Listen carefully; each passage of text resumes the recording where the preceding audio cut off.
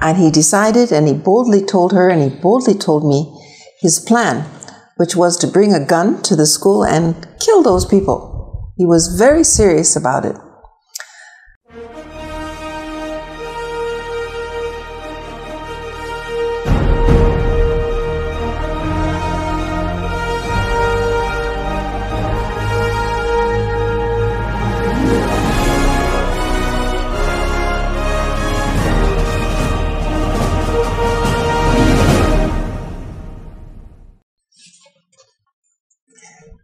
Hello again, everyone. Welcome to this next sharing uh, video.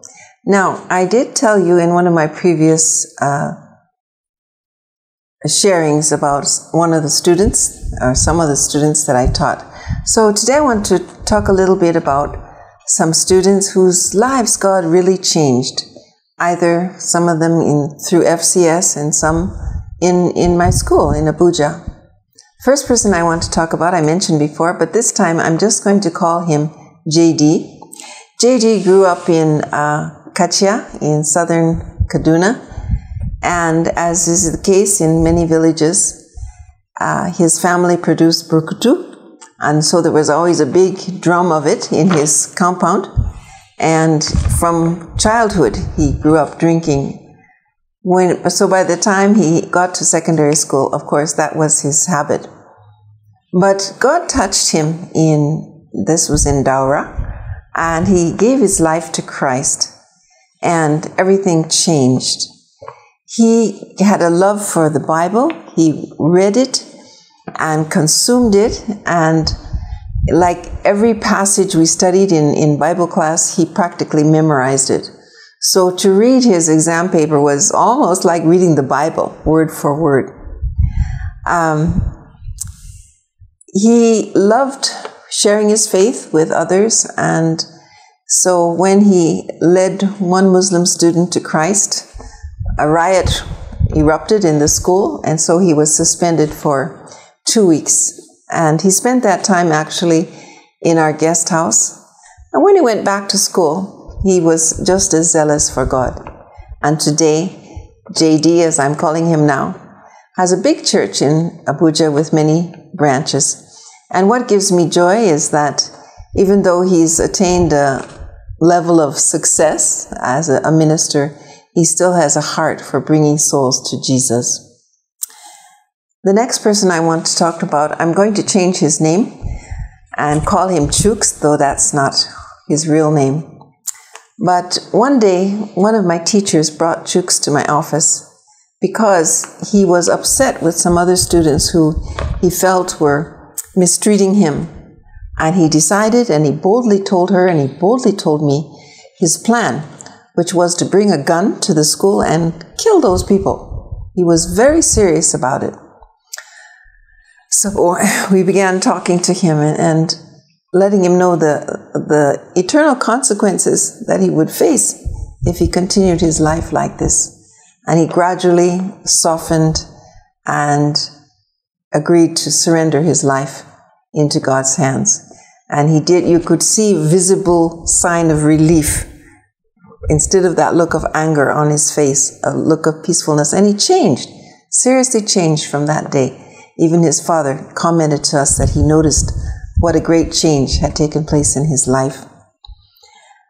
Somebody I will call Amira, again, I'm changing her name, was a Muslim girl in our school and very lovely, friendly girl. One day she came to me, she was about to graduate, and she said, Mrs. O, I'm so confused. I don't know what I'm supposed to do with my life. I don't know where I'm supposed to go to school. And she was going on like that. And I just said, Well, Amira, just pray. Ask God to, to lead you. And without thinking, I said, And if you're brave enough, pray in Jesus' name. Try it. And she said, you know what, Mrs. O? I do. I do pray in Jesus' name. That makes a big difference. I believe God is still uh, working on Amira and I'm waiting for more testimonies. I'll just tell you one more, and again, I'll change this girl's name. I'll call her Sarah. Sarah, uh, her father was American, her mother was French. Her father was Catholic but didn't go to church. Her mother was an atheist.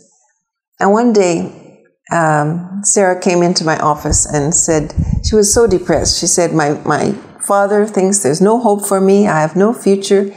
He's always telling me everything that's wrong with me. And I just feel like giving up on life.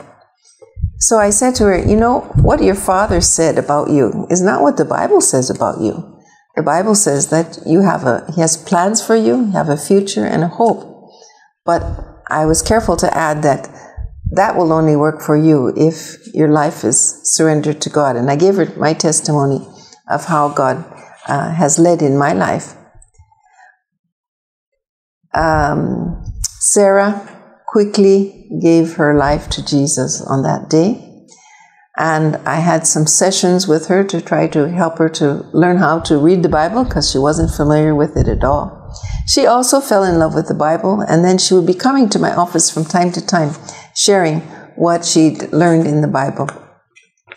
And one day she came to me and she said, Mrs. O, I want to be baptized. That took me by surprise because we hadn't even discussed anything like that. But God was speaking to her. And uh, she decided to wait until she had her parents' approval. But when she got that, we arranged a baptism for her in a friend's swimming pool. And her parents were there, a few other people were there. And she boldly gave her testimony of how she gave her life to Christ. And she was baptized. Uh, at the end of the ceremony, her father came up to me and thanked me because of the change he'd seen in his daughter. He thanked me but I thank God. God is the one who changes lives. It's so exciting to see Him do it. Thank you. Ladies and gentlemen, you heard it. The real evidence that Jesus is alive is proved by the changes he brings about in people's lives. Mary Magdalene was a woman out of whom Jesus cast out seven devils. It means that woman was an instrument in the devil's hands. Jesus changed her completely. Peter was a rash, unthinking, on the spur of the moment reactor to issues. Jesus changed him. He became the foundation of his church as he promised. Finally, let us talk about Paul. Paul was a murderer. Paul was injurious. Paul was throwing men and women and children into prison. But one day he encountered Jesus. Paul became a different person. You need such an experience as Mrs. O has talked about in these children. A boy became a drunkard at the age of 14, 15. He's a drunkard already, always coming drunk, but today is an archbishop, bringing thousands upon thousands to Jesus. God can change you too. All you need to do is humble yourself. Humble yourself under the almighty hand of God.